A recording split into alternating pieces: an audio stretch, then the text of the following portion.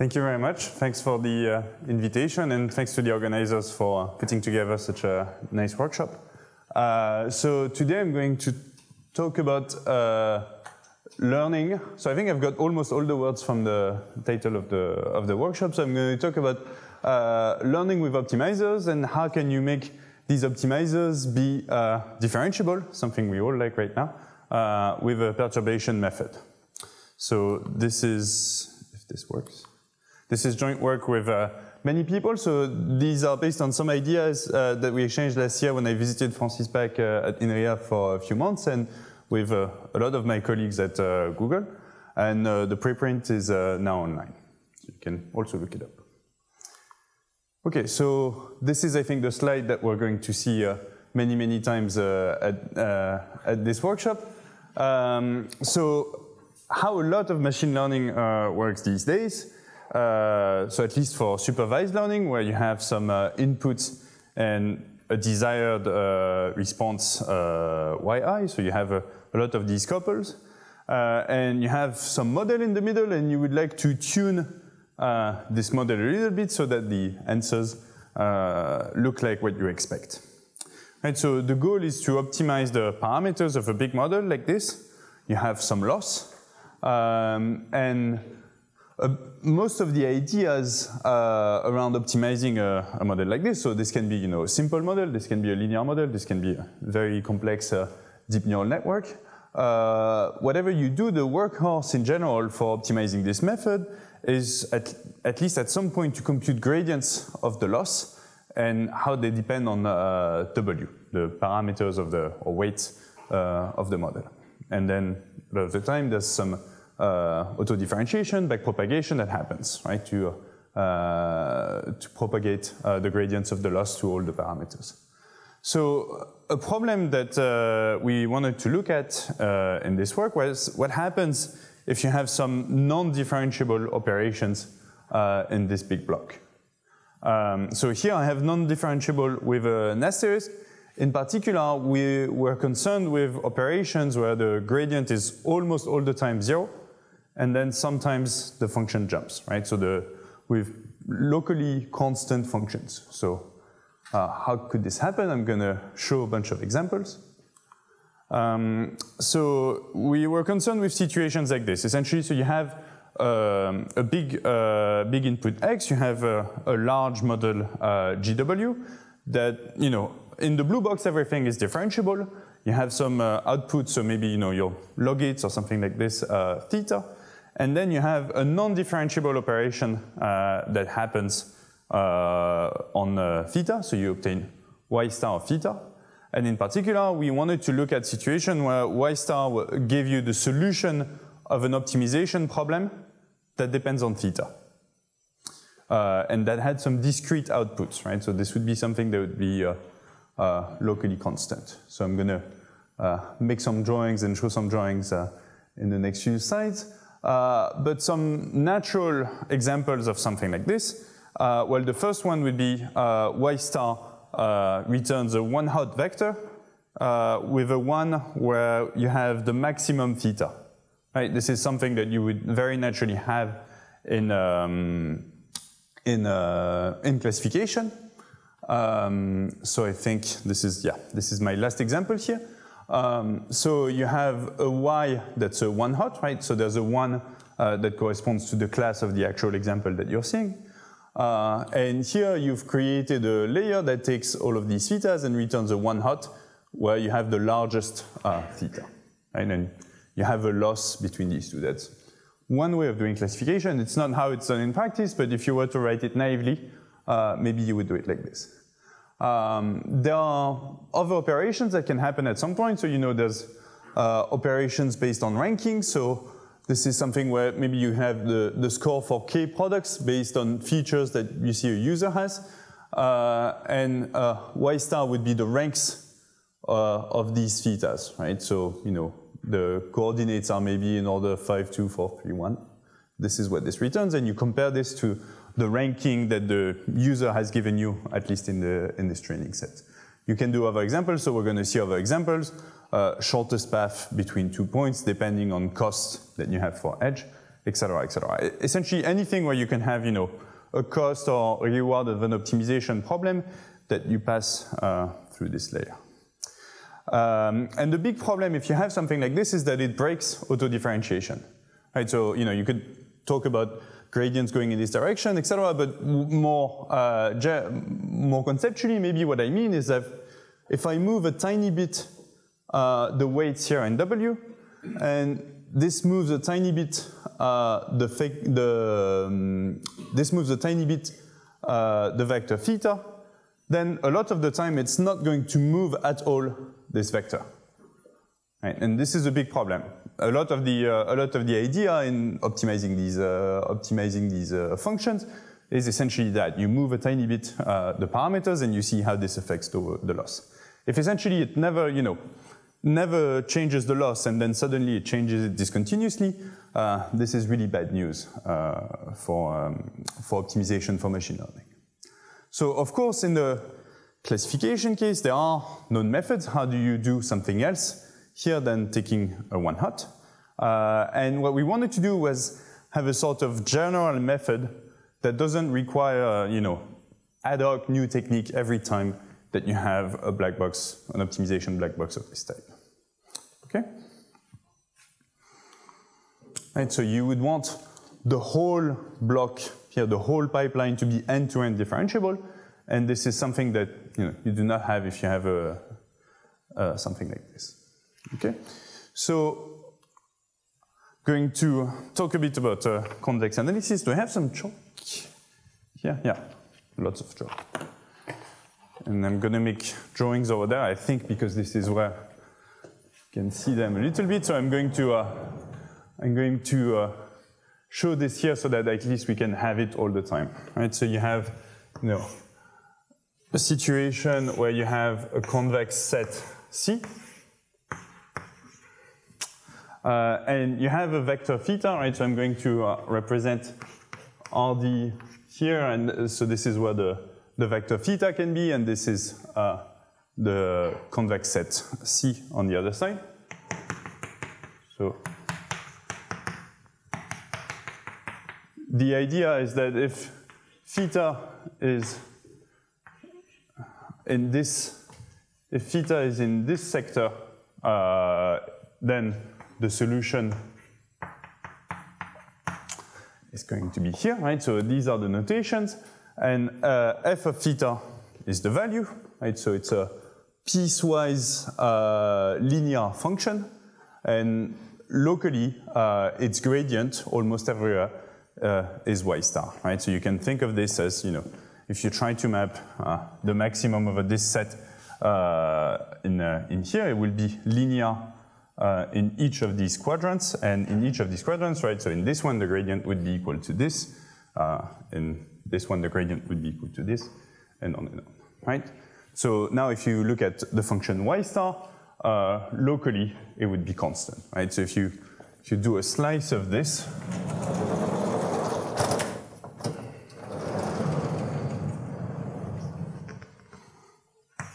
so you would have, have something like this for alpha theta, and you would have something like this for y star theta schematically, right? And so you can't really uh, take at least informative uh, derivatives of y star theta. So how do we change this problem a little bit so that we don't have this sort of issue? Well, one of the ideas, there's probably many different ways of doing it, but one idea that we found simple to analyze and to implement was to do this with perturbation. Right, so we change a little bit the optimization problem. And what we do is we add noise to the vector theta. Right, so you see this little bubble around the vector theta. This means that we can add noise with uh, amplitude epsilon, right, that we call the temperature. It measures how much noise we add. Um, and when we add noise, this means that sometimes the solution can be uh, at another point, right? So you see in this particular example, if you have one instance of theta plus epsilon z that's a bit uh, to the north, then uh, y star is suddenly in another, in another place, right? And so you have, you know, mass in red that corresponds to the probability uh, that we have a solution at each of these points. And when you average them all, uh, you have this y epsilon star, right? So this is what we call the perturbed or soft uh, maximizer. Uh, and it is, a, it is a function of, epsilon, of theta with a parameter epsilon, and it, it's going to have an, a lot of nice properties that we really enjoy. So I'm going to write it as well. So I'm introducing a bunch of notations. Right, so we have y star epsilon theta, that's the expectation of the argmax.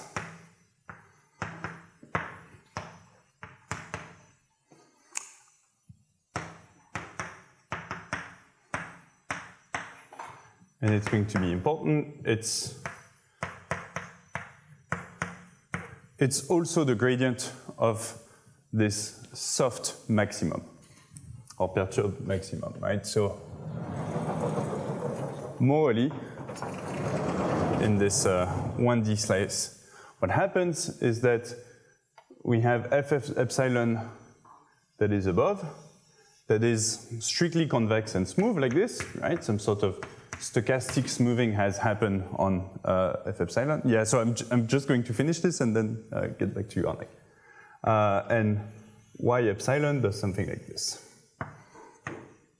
Yes, and I think Arnek has a question. Just, I think it's a typo, right? Ye First expectation you have. Possibly. Yes, yes, yes.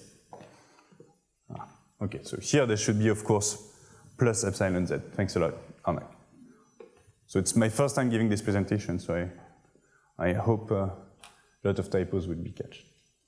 Are there any other questions? Yeah. It's positive, but the noise you add makes it always positive. No, no, not necessarily. Uh, but we, because we take the maximum, it's always going to be above. But this can be anything. Uh, conceptually, uh, what we're going to ask is that the, it has a density that's uh, regular and that it has full support. Essentially, it puts noise smoothly everywhere. That way we make sure that, you know, every extreme point has some mass, maybe even a tiny bit. Okay, thanks. Other questions?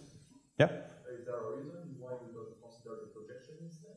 Because it has also nice properties. Yeah, yeah. So uh, Mathieu, one of my co-authors on this paper, will give a, will give a, um, a presentation of a, about another problem where we, uh, a specific problem of ranking where we consider projections. Um, projections, I think you have to do a bit things uh, ad hoc in some sense every time. Right? The projection operation, how it's, how it's differentiable in particular, is kind of, you know, very problem dependent. Here, uh, everything can be very abstract, right? In some sense, C can be uh, any uh, convex hull of these, uh, of these discrete operations, etc. Also, a lot of the time, uh, the problem that we have, so, right, so here this is true if there's no, if there's no epsilon, uh, the problem actually writes itself like this and not as a projection directly. Okay. Um, okay, so uh, this is what we've defined, and this is kind of a you know smoothed, uh, a smoothed uh, optimizer. Uh, given, the, given what I've drawn over there, uh, it looks like it has some nice properties. It looks like it's, you know, close to the original optimizer and differentiable. Uh, and this turns out to be true. Okay, uh, another thing before that. Uh, so we have, uh, this generates, you know, if you look at the mass it puts on all of the extreme points, this generates a natural model and this is actually something that other people had considered before. In particular, uh, in economics. So this is something that uh, models optimal decision under, under uncertainty. Uh, and this is, I think, called random choice models. so the idea is, you know, of course, if you take a course in microeconomics, people tell you, you know, you, you know your utility function and you behave optimally according to your known utility function, etc. But we notice, of course, that people don't all behave the same way, and people sometimes behave a little bit uh, irrationally. So one of the ways to model this is to say, well, people, you know, people take optimal decisions, but they don't really know what they want. Uh, and so one of the ideas is to say, well, you know, imagine as an example here, so I'm going to talk about a shortest path problem. So they don't know how much time it takes to go from one place to the other. They have some vague idea, but it's noisy. Uh, and they take the shortest path according to this idea, right? If this idea is random, then the shortest path that they're going to take is random as well. So this is a nice way, I think, to, uh, to model what happens when there's either uncertainty or, you know, changing costs. Uh, and it, it's a very natural model. Um, of course, the problem is that, you know, this expression that I wrote, the probability uh, that you are, uh, that the solution is at any of these extreme points uh, of C is very hard to write. In general, there won't be a very nice closed formula for it, but the upside is that it's very easy to sample from, right? Which is kind of a, the complete opposite of the Gibbs distribution, which is very easy to write and very hard to sample from. Um, it's also related to things that, be that have been considered in uh, uh, approximate inference in Gibbs model and in, uh, and in online learning, so in follow the perturb leader. Right, so in this model, of course, the expectation of the random variable is the soft maximizer that we're considering, right? So the one that would be in the middle over here. So here is an example. So we're going to have, uh, the last experiment I'm going to present is going to be based on that, but I think it's very illustrative. Um, so imagine that you have some, so some features xi, and these features generate cost theta, right? So this is the co travel cost it takes to go over one of these uh, uh, sub-images, parts of the uh, parts of the images. Uh, so if you solve the shortest path problem uh, on these costs, it will give you this solution. And I think, you know, with the yellow point here, it will also be an optimal solution, both are optimal. Uh, and if you add a bit of noise, right, so with, with temperature 0.5 to these costs, and you solve many, many times uh, the shortest path problem and you average, this is what you obtain. And if you add even more noise, uh, then this is what you obtain, right? It diffuses even more. It keeps avoiding uh, the rock and the lake uh, in the middle, because apparently this is uh, really, really bad in this model. but it explores a bit more and it takes a bit more the averages uh, of what you're looking at, right? So these points are these uh, y epsilon. Um, for more illustration, for more mathematical illustration, there's one example that's very easy to analyze and to write up. It's what happens over the unit simplex, right? So the uh, convex hull of the uh, canonical basis, the, the vector of probabilities, uh, with Gumbel noise said, right? So I haven't written what the density of the Gumbel is, it's not really important. Uh, what is important is that if you add uh, some uh, if you add some Gumbel noise to a vector theta, uh, then the probability that any i is the highest uh, corresponds to the Gibbs distribution on the theta i. Right. So what this means is that if you take this function, right, so this linear, uh, this maximum of the linear form over the simplex, it's the same thing as taking the maximum in i of the theta i's. Uh, if you soften uh, this function with this sort of perturbation, what you have here is the log sum exp, right? So you can think of this f as the uh, log sum exp. The probability that you obtain on the extreme points of the simplex is the Gibbs distribution, right? So theta scalar ei is uh, theta i. And uh, the mean, right, so the mean, in, because you're taking the average over the uh, uh, vectors ei is the same thing as the probability, it will be the exponential weight. Right, so this is, and here you can see, you know, if one of the theta i's is very large, then it will dominate, and the vector here will be very close to uh, the actual vector with a 1 uh, and all uh, other coefficients very close to 0, which is what you get if you don't add any perturbation. Okay, so now that we have all of these, uh, all of these examples, what's, uh, what are some nice properties of this model? Well, one of the first one is that it has some nice link with regularization. So it's, it's something that's been exploited already, uh, in particular in online learning, which is that if you perturb uh, a, linear a linear program and take averages, it's equivalent to regularizing your uh, linear program.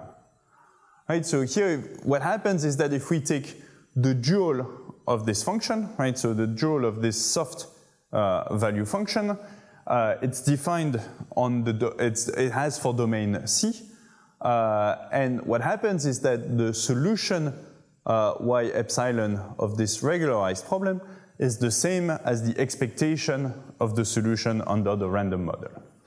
Right, so what this means over here sorry, is that if we right, so if we if we've added some noise and we have a bit of mass here, which means that we have some y star epsilon of theta here, there is some sort of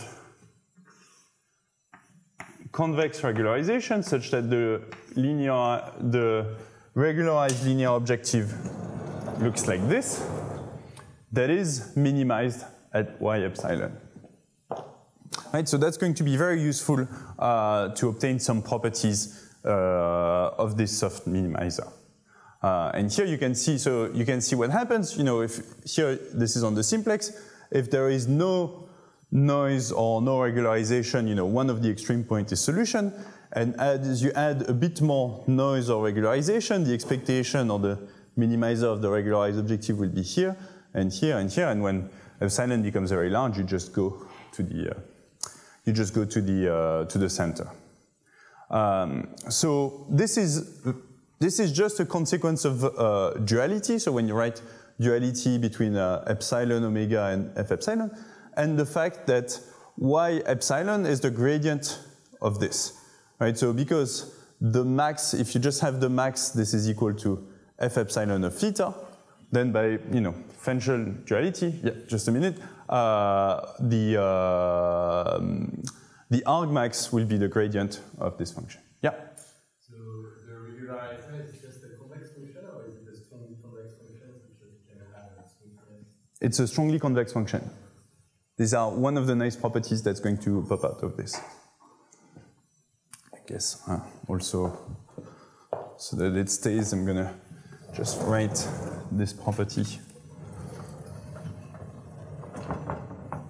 And we don't, I mean, except in very simple cases, we don't ever actually compute it.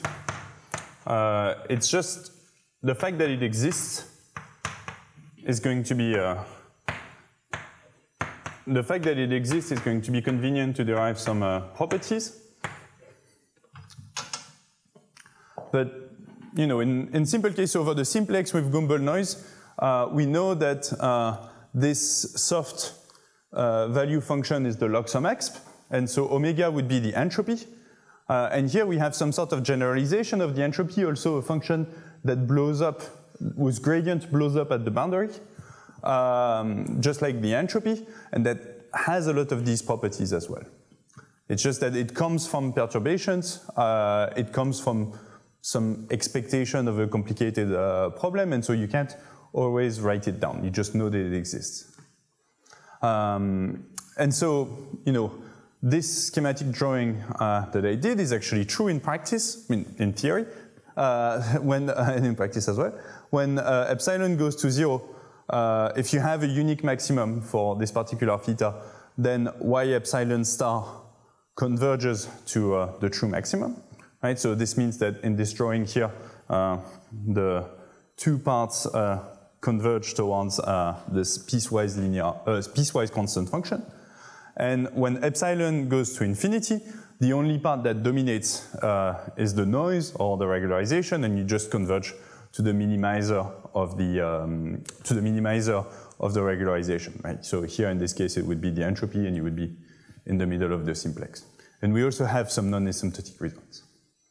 Okay, so this is just, and this is something that had been highlighted in the online literature before uh, by Abernethy and some co-authors, uh, in, uh, in essentially in understanding what stochastic smoothing and regularization smoothing uh, have in common. Okay, so what this means is that we have some nice mirror map, some nice essentially bijection between, uh, if, so if C has full interior and Z has smooth density, right? And so every extreme point gets some positive mass. Uh, we have a nice bijection between all the thetas in RD and all the points uh, in C. Uh, and so going in one direction will be taking the gradient of uh, f epsilon, and going in the other direction will be taking the gradient of its dual, which is omega, which we never explicitly compute, but ju we just know it's there and it has some nice properties. Uh, and so if, you know, hope I'm not going to mess this up. Yeah, okay, so if, see if theta moves a little bit, uh, y epsilon uh, will move a little bit and we're able to understand how this happens. And you know, if theta would need to go to infinity for this to go close to the boundary. Essentially, you need you know, the maximizer to be very, very strong uh, for the soft maximizer to be very close. Right? So the uh, infinity is mapped to the boundary of, uh, of this convex set. Okay, so all of this is nice. Uh, it's going to have some practical applications. In particular, if we observe, if we observe a lot of uh, IID solutions of this problem and we're able to take an empirical average, if the empirical average is close to this one, this will mean that our estimated theta hat is close to the true theta. Right, so this is why uh, I'm, I'm talking about uh, all these things. And we have, so there was one question about this, right? So we have uh, strict convexity and smoothness of f epsilon, which corresponds to uh, omega being strongly convex, and uh, Legendre type. So Legendre type means it actually blows up at the boundary, right? So there's a true bijection between all of RD and all of this set. Um, and so finally, another thing that's important and that makes all of this framework very useful and one of the reasons why we consider perturbation rather than uh, projection uh, or regularization directly uh, is that not only is the function smooth in the input, right? So y and f, y epsilon and f epsilon are smooth in the input, but they have derivatives that we can actually express as nice simple expectations. So itself, y epsilon uh, can be written as an expectation. It's also the gradient of f epsilon. And by nice integration by part tricks, uh, so this is also something that had been uh, noticed in the online learning literature, we can write these as expectation of the value, right? And so this is related to just uh, something in the density of the noise, right? So this is something that we can know. So if we, if we have some theta and we want to compute, uh, and we want to compute this, we can either average a lot of these things or take a lot of these values and multiply by the gradient of uh, the density. We can also compute the Jacobian of theta, the Jacobian of y uh, in theta, and this is also something that can be expressed just as a function of the solutions. So this means that the perturb maximizer is never locally constant, right? It's, it, the, it, it never becomes completely flat, and this function is, all, is strictly convex. It never becomes uh, locally linear. Okay, so why do we care again about these things? Uh, well, I had this picture of what happens if we have a big machine learning pipeline with, in some point, uh, a block that takes a discrete operation. Well, what we're saying is you can always if this discrete operation corresponds to taking the optimal of a linear program, you can always change it slightly in a y epsilon star, and then have this whole thing be end-to-end -end differentiable. Uh, so, you know, this is well known when you're taking the max and you're saying, well, here I should have the soft max instead, uh, and the whole thing becomes differentiable. But this just generalizes this and explains how you can take random gradients of this. Uh, and if you have labels that are solution of optimization problems, so it doesn't need to be one hot, it can be ranks, it can be shortest paths. These are going to be the uh, experiments I'm going to show, but it could be anything. Uh, then with just a small modification of this problem, we've shown that we haven't deviated too far from the original uh, model, and the whole thing uh, becomes nicely end-to-end -end differentiable. So this is a little bit of the why. So this is this idea that if we have any function of the weights that says, you know, it's a, a loss of the soft maximizer uh, with theta that depend on W, uh, then we need to compute these sorts of gradients. Right? We, we're going to have to multiply with other gradients and Jacobians, etc., to do the full backprop, but this is at least something we need to understand. We need to understand what happens if we move theta a little bit here. How does the soft maximizer move? And the how. So you could say, you know, well, you've introduced all of these things, but you haven't really told us how you can compute any of them. Well, they're defined as expectations, right? So you can just do Monte Carlo estimates. In general, you're going to apply them in cases where you know they correspond to stochastic gradients in any case. So you know can, there can be a bit of uh, stochastic error around them. And one way you can do this is just saying, well, you have some fixed theta in RD. You create IID copies of the noise that you make yourself. Um, you solve iteratively many, many times this optimization problem. This is if you want to find a solution very accurately. It's not always necessary uh, and you just average it all, you will have an unbiased estimate of this by just taking the average of all these solutions. Right, so this is, uh, as Marco would say, uh, embarrassingly uh, parallelizable. You can uh, solve it. Uh, you can solve it in many, many different machines. There's no communication needed, and if you want to be a tiny bit smart, what you can do is you can solve first for theta, you can you will have y star theta because in many in many situations what will happen is that if you add a bit of noise, you won't actually change the solution or you will change it only a little bit, and this warm start will be very useful.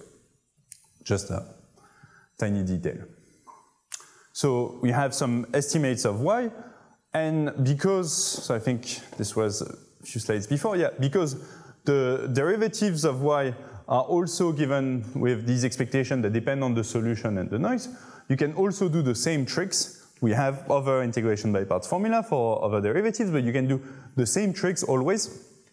Just take empirical averages of a lot of perturbed solutions that you've created yourself. Okay, so this is a little bit of the, you know, why is this useful and how do we make it useful? How am I doing on time? Okay. I guess. okay, so this was, this was saying that um, whatever the loss you have at the end of your machine learning pipeline, you know, all method can, with very few modifications, uh, be transformed, uh, so transform your model into something that's completely end-to-end -end differentiable, etc. Uh, however, so one of my, uh, when we were looking at this, one of my colleagues uh, at Google, when we started at the same time, so Mathieu Blondel will be here, I think, soon, mentioned that this looked a lot like something like that he, he had worked on in the previous year. that is a family of losses called the Fenchel-Young losses, based on duality, um, that is very useful in structured prediction. So what, what is this loss? So if you, if you look at uh, this term here, so if you look at as a, if you look at this as a function of y in C, uh, this is a function of y. This is the opposite of the contour lines I drew here that were maximized at uh, y star.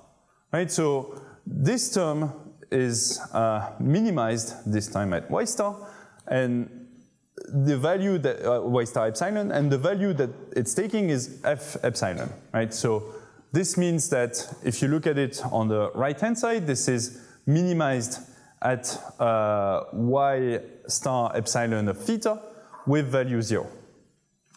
And because of this nice map that we have uh, on the other side, this means that uh, for a fixed y now, if you look at this function in theta, this will be a convex function in theta, and that will be minimized at theta such that uh, the projection explains well some data y that you've seen. Right, so no projection, but a, a map that we have, right? So we have this map that takes a theta, right? So this is y epsilon star, which is the gradient of uh, f epsilon. And what this loss does is that it takes the theta such that uh, this theta is sent to um, something close to y that we observe, right? And it has value zero in this case. It's actually equal to the Bregman divergence between the y that's observed and y epsilon uh, star. Okay, so this might be a lot to digest, but essentially you can think of it as something that is a function of theta directly. It makes the link between a theta that would make sense for an observation yi that you've seen, right? Another nice property that it has is that because theta and y only interact with each other uh, linearly, if you have a random y, then essentially the expectation goes in the middle, and so you have nice properties uh, on expectation of a empirical loss and the fact that it's minimized at the right value.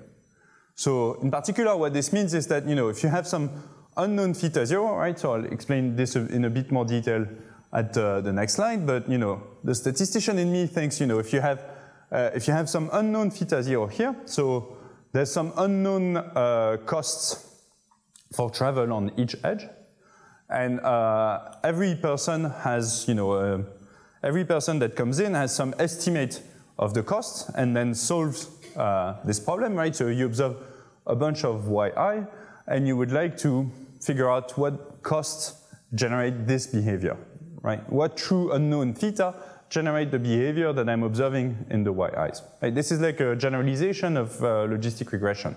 You have some discrete observations that you have that are at the extreme points of a polytope. It doesn't need to be just at the ends of the minus one one segment. And you want to understand what theta zero generates this behavior. You have, if you minimize with uh, your observations uh, this loss, in expectation, what you have is something uh, that will be minimized at the true theta zero. So this is extremely useful to have some nice uh, statistical properties, and this will be the subject of the next slide. And finally, we have some very, very convenient gradients. So this is one of the beauties of these losses. If you take the gradient in theta of this loss, right, which is always what you want to do in a machine learning pipeline, then no Jacobian in uh, y epsilon of theta shows up. It's just y epsilon of theta star minus y. And again, this will be equal to zero when these two things are close to each other. Right? So this loss is trying to take theta such that this is close to our observations again. And algorithmically, this makes things a lot easier. Right? So what we're saying is now if, you know, within this same framework, saying, you know, we had some thetas, we have a soft maximizer, uh, with this soft maximizer, we have a loss. If we're saying now, you know, there's a particular loss, this sort of Bregman divergence between this soft maximizer and uh, y, that allows us to virtually bypass the soft optimization block. We just have a loss, you know, so now this is this Fenchel-Young loss between the costs or you know, logits or whatever you want to call them, theta, and the observed y. This is easier to implement. If we take gradients of this, it only depends on y epsilon, no, no, it's Jacobian. And if your data is generated from a model, from our perturb generative model, then the loss, the population loss is minimized at the ground truth, which is also something that you want statistically. Okay?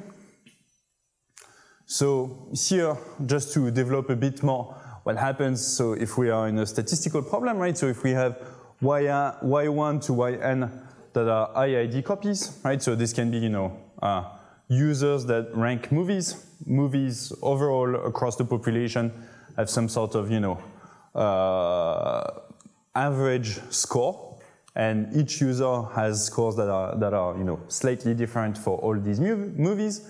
Gives you their vectors of ranking yn, y1 to yn. We want just from these discrete observations, these discrete optimal behavior, to understand the unknown, to estimate the unknown theta zero. So here, so we have, you know, in some sense, we have some sort of histogram in red uh, of um, of these um, of this distribution of this distribution p theta zero, and we want to estimate the theta zero. Um, so here, this Fenchel-Young loss, right? So here there should be an epsilon, gives us a nice way uh, to minimize a nice empirical loss to minimize. It's a little bit like uh, for those who are uh, familiar with this, like inference in uh, in Gibbs models. We have an average of these uh, Fenchel-Young losses. They have a very convenient stochastic gradient. So if, if we are at value theta, we're just looking at the soft maximizer in theta minus yi. so again, in the example of ranking, you would do, you know, this would be a soft rank that corresponds to the vectors, to the current uh, vector of scores theta that you're estimating. So you have some soft ranks that are some averages of vectors of rank, and you're taking the soft rank minus the new rank of the user. And that's it. That's, that's your stochastic gradient.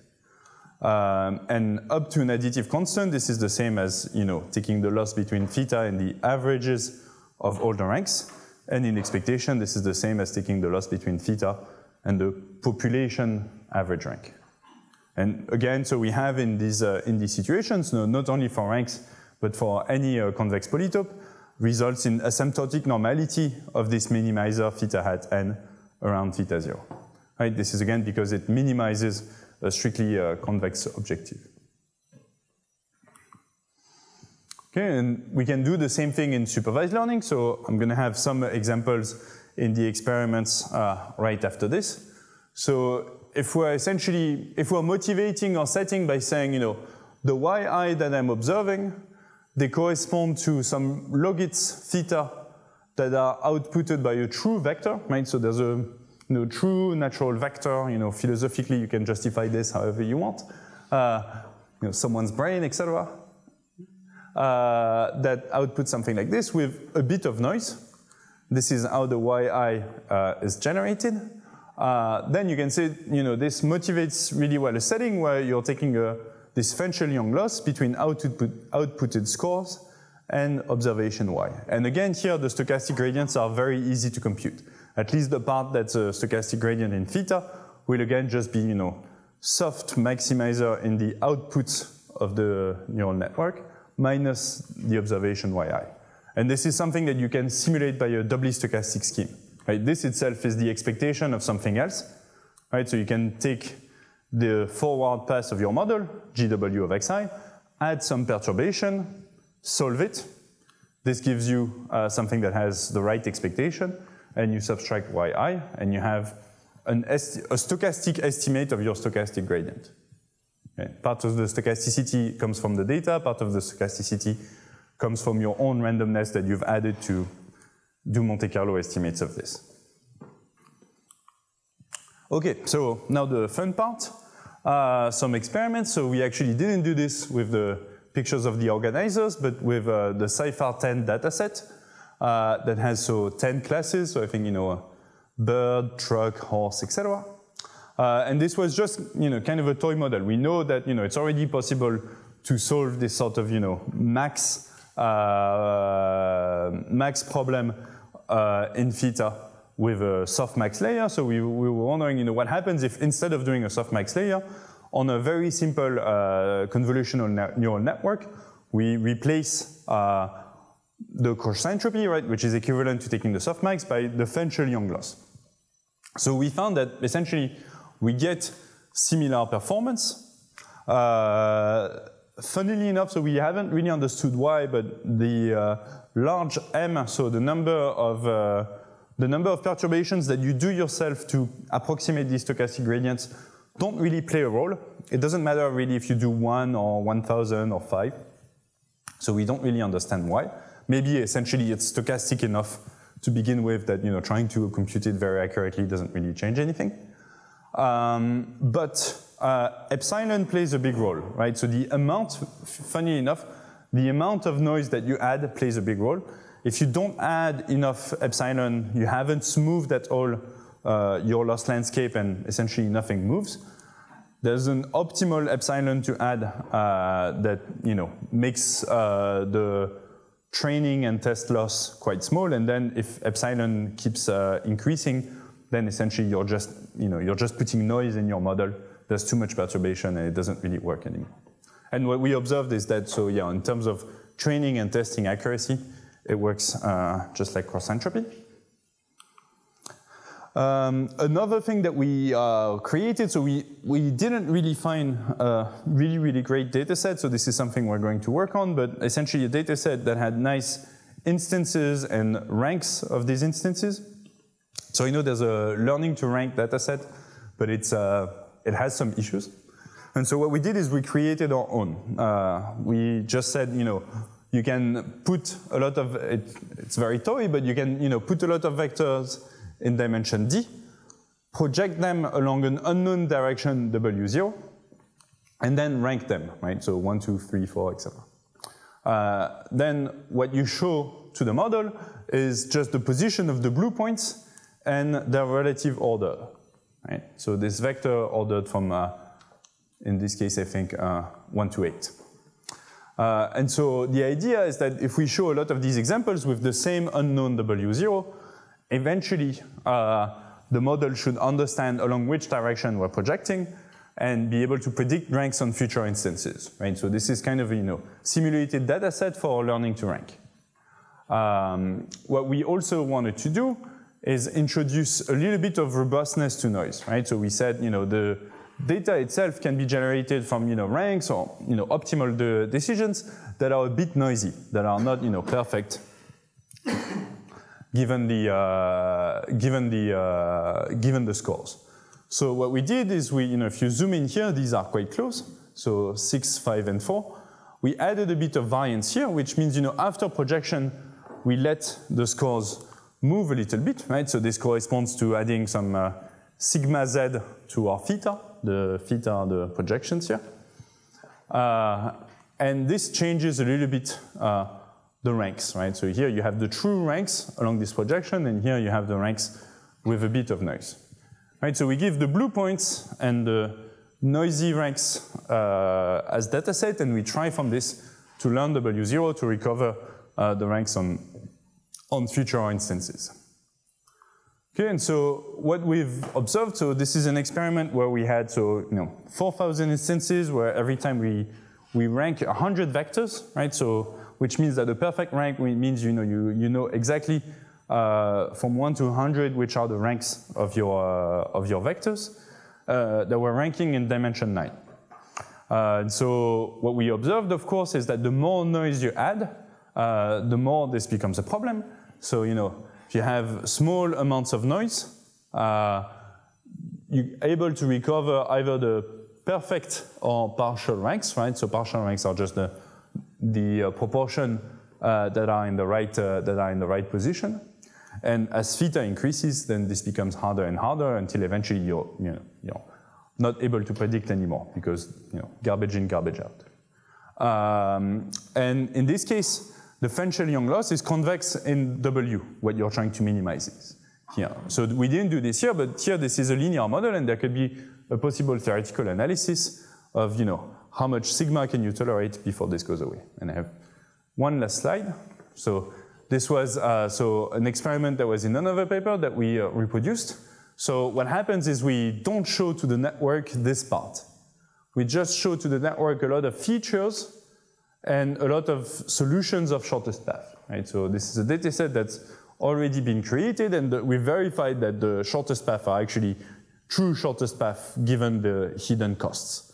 And what we did, so using these, uh, sorry, using these perturbed uh, shortest path, uh, we minimized, uh, again, with a simple uh, convolutional neural network, uh, with a Fenchel-Young loss, these, these parameters.